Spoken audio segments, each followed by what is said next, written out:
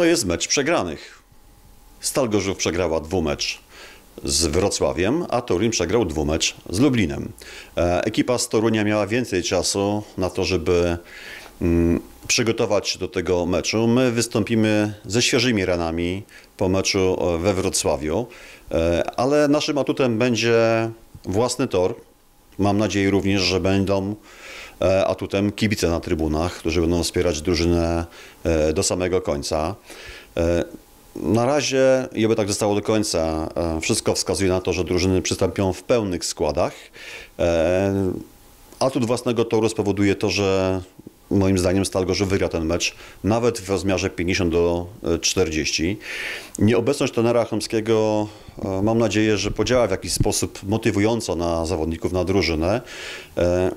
Ci zawodnicy są mocno emocjonalnie związani z trenerem, dlatego śmiem powiedzieć, że wygrają ten mecz zdecydowanie, a zwycięstwo zadedykują trenerowi Chomskiemu.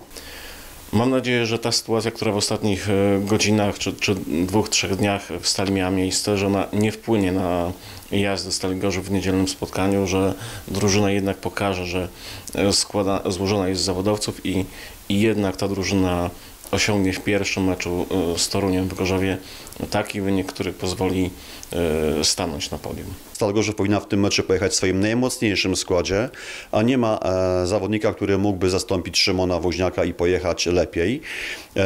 To jest mecz o medal Mistrzostw Polski. Ja wiem, że rana jest świeża i może boleć to, że nie jesteśmy w finale, ale my w tym finale nie byliśmy w ogóle typowani. Nie? Potencjał tej drużyny jest na miejsca 3-4. Obecność w finale to było takie pobożne życzenie. E, Jesteśmy tam, gdzie pokazuje nasza aktualna siła e, sportowa i nie wolno na kilka kroków przed metą e, odpuścić. Musimy jechać w pełni zmobilizowani, w pełnym składzie, tak by przy wynikach Stali Gorzów e, w roku 2024 widniał medal brązowy. Myślę, że to będzie wynik około 10 punktów e, do przodu, czy- czyli jakieś 50-40 dla Stali. Zakładam, że skoro doszło do zmian e, w Stali, że odszedł trener, to też e, inaczej, inne będzie podejście do prowadzenia zespołu w tym spotkaniu. Mm, Drużynę mają poprowadzić Krzysztof Orzeł, Piotr Świst. Zakładam, że jednak w tym spotkaniu więcej szans niż wcześniej otrzyma Oskar Paluch, a także na to, że pojawi się Adam Bednarz.